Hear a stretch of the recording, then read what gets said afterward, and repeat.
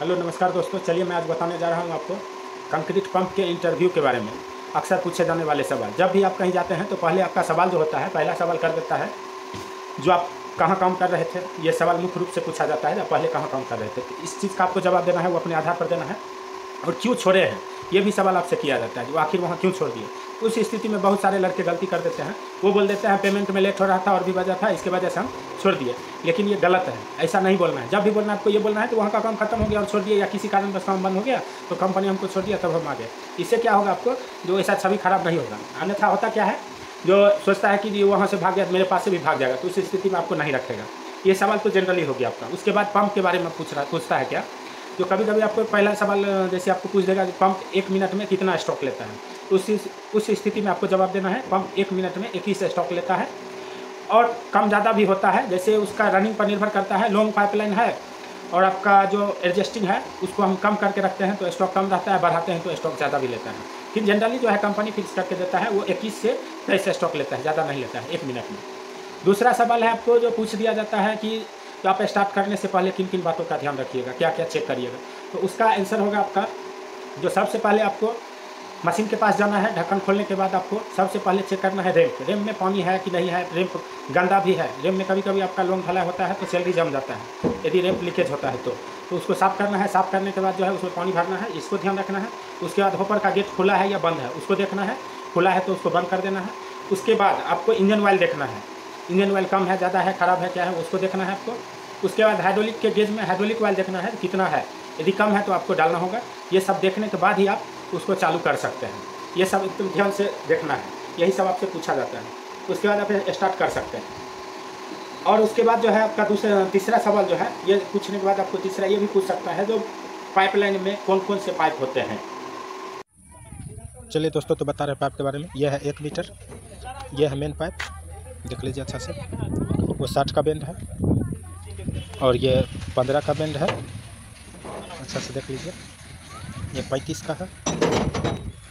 और इधर ये देखिए, ये पैंतालीस है और ये साठ नाइन्टी का बैंड है, ये वाला।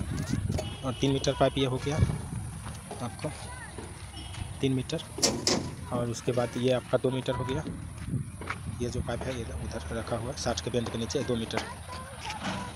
चलिए और सिलेंडर के बारे में बता रहे हैं। सिलेंडर चार होते हैं, दो ठो ये रेम सिलेंडर होते हैं और दो ठो आगे है, ये स्विंग सिलेंडर होते हैं। ये दोनों स्विंग सिलेंडर है, रॉक वाल को स्विंग करता है। और चलिए अब इलेक्ट्रिक के बारे में बताते हैं, जो पूछा जा सकता है। तो ये रिमोट है। रिमोट का तीन बटन होता है। एक से आगे जाएगा। दिखा रहे हैं आपको। ये एक स्विच दाबने से आगे जाएगा। एक स्विच से स्टॉप होगा और एक स्विच से बैक आएगा। तो इस चीज़ को ध्यान रखना है। उसके बाद यदि काम नहीं करेगा, तब आपको इस प्लग को खोल देना है। खोलने के बाद वहाँ से आप डायरेक्ट चला सकते हैं। इसे आगे माल जाएगा। इसे स्टॉप होगा और इसे बैक आएगा। बैक को ज़्यादा इस्तेमाल नहीं करना है। ज़्यादा बैक इस्तेमाल करने से आपको पाइप जम हो सकता है, रॉक वाल रुकेगा, तभी इसको हल्का बैक लेके फिर आगे दबा दीजिएगा चलने लगेगा। तो ये समझ गए हैं।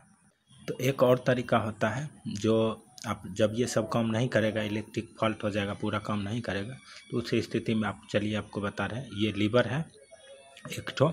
इस लीवर को आगे दाबने से आपको माल आगे जाएगा और पीछे खींचने से माल बैक आएगा। ये हो गया आपका, जब कोई भी इलेक्ट्रिक पार्ट काम नहीं करेगा, तब ये काम करेगा। आखिर ऐसा हुआ क्यों? तो इसके लिए आपको यहाँ से देखना होगा कि आखिर इलेक्ट्रिक फॉल्ट हुआ क्यों? इलेक्ट्रिक फाल्ट होने का कारण क्या है? तो यहाँ देखिए, एक दस नंबर जो है, इधर लाल वाला दस नंबर फ्यूज रहता है, इसको देखना है। ये ख़राब हो जाता है और एक तो इसमें शीशा का फ्यूज रहता है, इसमें बंद रहता है। यदि इसको खोलने से आपको निकल जाएगा तो उसको देखना है। यदि दोनों फ्यूज उड़ा रहेगा, तब भी काम नहीं करेगा। या एक भी उड़ा रहेगा तो काम नहीं करेगा। और जब आपका ये सब जो है, इस सब में देखिएगा, जब स्विच दाबिएगा, बत्ती जलेगा। बत्ती नहीं जलेगा तो इस सब में भी फॉल्ट होता है। तो आप निकाल के साफ़ कर दीजिएगा, क्योंकि ज़्यादा दिन पड़े रहने से कार्बन लग जाता है। तो चलिए, और आपको हम बता रहे हैं एक चीज़ और।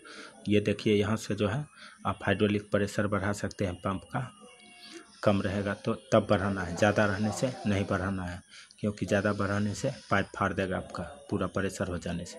तो आप कहिएगा, क्या सिखा दिए, ख़राब हो गया। तो इसलिए ऐसा गलती नहीं करना है, ध्यान से काम करना है। तो चलिए, आपको हम, ये जानकारी तो हो गई और आपको बता रहे हैं। देखिए, इसको घुमाने से जो है, इधर घुमाने से प्रेशर घटेगा और इधर घुमाने से प्रेशर बढ़ेगा, स्टॉक का। स्टॉक के लिए है, ये स्टॉप है और ये सब मीटर जो है, इधर ये सब हाइड्रोलिक प्रेशर देखने के लिए है कितना ले रहा है। और ये आपका रैम्प है। रैम में यदि सैलरी वगैरह रहेगा तो साफ़ कर देना है और उसके बाद पानी भर देना है। अच्छी तरह से इसका ध्यान रखना है। पर डे इसको चेक करना है। और ये डीजल टंकी है, इसमें डीजल चेक करके डीजल भर देना है। तो आई होप कि पूरा समझ में आया हो। तो वीडियो को लाइक और सब्सक्राइब कीजिए। दोस्तों में शेयर कीजिए। धन्यवाद। चलिए चलते चलते बता दें कि आपको अड़सठ नंबर हाइड्रोलिक डलाएगा और इंजन ऑयल जो है ट्वेंटी फोर्टी का डलाएगा। तो ये बात को ध्यान रखना है, ये भी पूछा जा सकता है। पूरा वीडियो देखने के लिए धन्यवाद, फिर मिलेंगे अगले वीडियो में, तब तक के लिए जय हिंद, जय भारत, धन्यवाद।